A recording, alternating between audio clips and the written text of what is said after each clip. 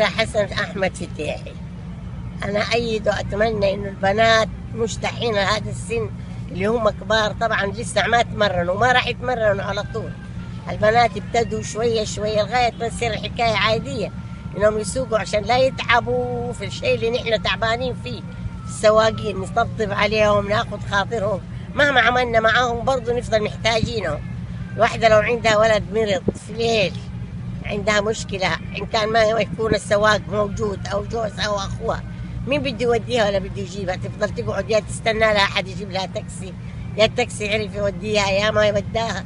لكن هم الشيء اللي أنا أتمناه مو لي أنا ولا للجيل اللي تحتي. طبعا البنات الحفيدات كلهم هذولا مع الزمان يتمرنوا ويصير حكاية عادية زينا زي أي بلد تاني بيشتغلوا فيه